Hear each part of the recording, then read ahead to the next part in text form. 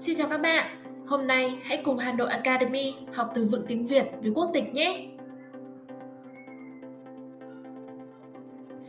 Việt Nam. Việt Nam.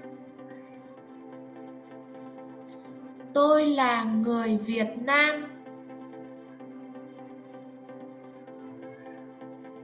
Hàn Quốc. Hàn Quốc. Tôi là người Hàn Quốc.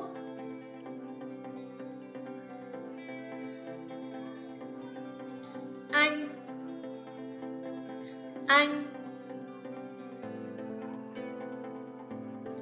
Tôi là người Anh.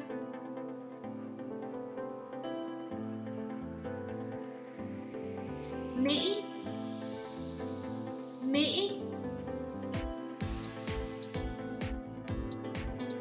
tôi là người mỹ. Pháp. Pháp. Tôi là người pháp.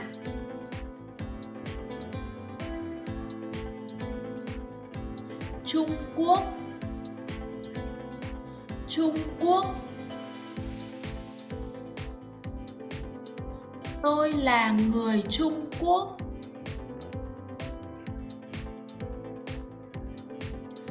Đức. Đức. Tôi là người đức.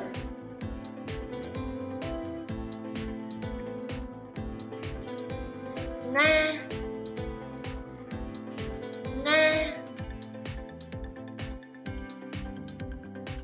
tôi là người nga.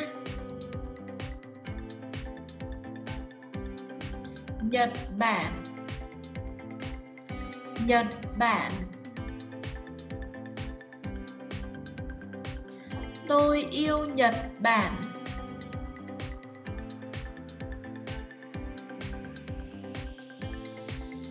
Thái lan. Thái lan.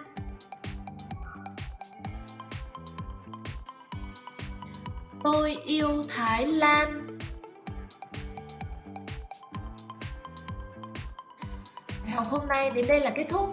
Hẹn gặp lại các bạn trong những video tiếp theo. Hà Nội Academy đồng hành cùng bạn trong chặng đường học tiếng Việt.